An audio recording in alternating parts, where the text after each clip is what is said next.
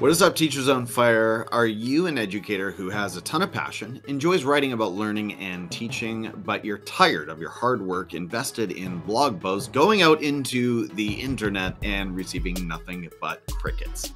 Medium.com just might be the solution for you. I love this platform and I know you're going to get more activity, more visits, more interaction with your work on Medium than you've ever experienced on WordPress, Blogspot, Wix, or anywhere else. So come and join me. I'm going to show you today how to set up a Medium account very quick, how to create a post and publish it, and third, how to link yourself to a publication on Medium and get even more eyeballs and activity on your work, all for free. We're going to do it right now together. Let's go. All right, so the very first thing we're going to do is go over to medium.com where we're going to set up an account. And when you arrive, your screen should look something like this. Now, notice it recognizes my Google account. It's Sea to Summit Adventures. It's a Google account that I don't use for writing, and that's why I'm going to use it as a demonstration today. Now, this page happens to recognize who I am and it gives me the option to continue as Sea to Summit. I'm going to X that out actually and get started as if it didn't recognize me. Now it might, the page might recognize you, it might not, but either way, we're going to select this black box up here. Let me zoom in on that. It says get started. So that seems like a good place to get started. Let's select that. Next, it gives us an opportunity to sign in. And we actually can't sign in because we don't have an account yet. So we need to sign up with Google. You could also do so with Facebook there, but we're going to sign up with Google. Now it's asking me for my full name, and I'm going to recommend that even if you are an organization of some kind, you attach a human name to this. After all, it's probably going to be just one person running the account, right? So you are going to put your full name here, and I'm going to write my full name, Tim Cavey, and click create account. And boom, we have our Medium account. Now, Medium right away is going to want to know what my interests are. It says, improve your recommendations by telling us which stories you are not interested in. And later, uh, or at some point here, you can actually select all the genres and topics that you are interested in because it wants to present to you the stories that are going to be of interest. We're not going to do that right away, though because we've already accomplished goal number one, and that is creating an account. Number two, we are going to create a post. So over here, over here, you see the icon with the pencil and the paper. That's the icon that means write. So let's click that. And I'm going to close out this window. Now, down at the bottom, they helpfully give newbies some guidelines or some, not guidelines, but some tips and strategies that you can think about uh, using and integrating into your post. But I'm going to skip through a lot of that for now and close that. So we've got a post. One more thing before we publish. Let's add an image because this is a powerful feature that a lot of people seem to be unaware of on Medium. So let's say that your post is about education and we're just going to select education and we're going to select this image. Notice it brings it in from Unsplash completely free and it adds the citation, the nice link right here. Automatically, that is a tremendous integration. And now we're going to hit publish.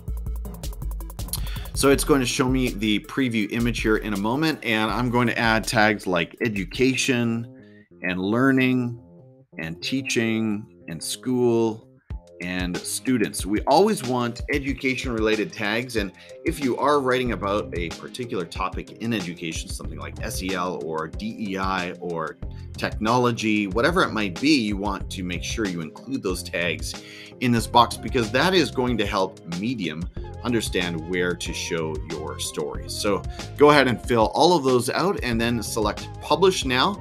And we have completed goal number two, which is publishing a post. Still free, still fast and easy. This is no problem. Now, Goal number three was publish through a publication. And to do that, you need to reach out to a publication on Medium to ask to become a writer with that publication. Once you have that option, you can quickly and easily add any of your stories, past, present, or future, to that publication, and that publication can choose to publish your story.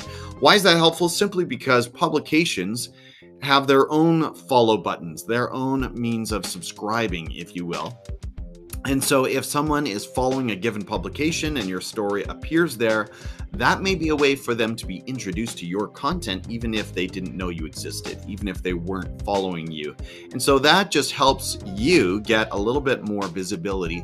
And again, that's one of the great things that makes the Medium platform work for you. So, let's say that you reach out to me. I will show you my publication. It is an education publication called Teachers on Fire Teachers on Fire. And so you can find it by selecting publications. And there it is Teachers on Fire magazine. So I've got about, I think it's 860 followers at the moment at the time of recording. And if you go down, you'll see all the teacher stories that I have published recently. Now, with every teacher story published, I promise to give you some claps on your article and some highlights. I can show you what those look like, or you can sort of poke around Medium and find out for yourself. And I will also tweet out your story on Twitter. I've got about 10,000 followers there. So that's going to help you as well. I will do all of those things for you for free, and you maintain credit, uh, the sole ownership on the story. Let's say uh, this one by Allison Levine or this one by Adrian Niebauer. All of these stories remain attached to you even though you've submitted your work on a publication, you can pull it out of the publication, you can continue to edit it, you retain control of the story, and you receive all compensation associated with engagement on that story. So let's say you've reached out to me, you've DM'd me at Teachers on Fire on any social media platform that is out there, and I've added you as a writer. What happens next? All right, so you've published an education post on Medium and you're really excited about it, and you've decided, I actually want to submit this post to an education publication on Medium, like the Teachers on Fire magazine. How do I do that? Well, you'll notice at the top of your post, you've got some lovely little options. You can share the post on Twitter, Facebook, LinkedIn. You can grab the link to your story or you can bookmark it. Why would you do that if it's your own post? But anyway, and then you can select the three dots and actually edit story. So we're going to edit story. And inside this menu, you can add to publication. So you hit the three dots again. Look at all of these great options. Now we've got right here, add to publication. And because I've already reached out to me, Tim Cavey, I know I'm speaking in circles here, but let's say that you've reached out to Tim Cavey at Teachers on Fire. You are now a Teachers on Fire magazine writer. You will now see this option to publish or add your story to a publication and just hit submit. So as soon as you hit submit, it will give you this message. We'll email you when the publication editor has reviewed your submission and usually I will see those notices within 24 hours or so, and I will publish it, and I will uh, I will tweet that out and clap it up and highlight it and do my best to promote your work. So there are the three goals. We created a Medium account, we published a post, and we added our post to a publication, all within a matter of minutes. Now, there is a premium setting on Medium, and that allows you to read an unlimited amount of posts, and that will cost you $5 a month.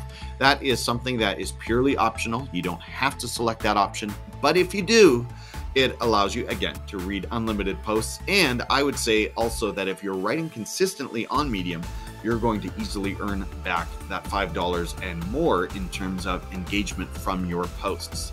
So dig into that on medium.com if you're a little unsure of what I'm talking about. But basically, the more attention and engagement your stories get from paying members on Medium, the more you will be compensated for your work.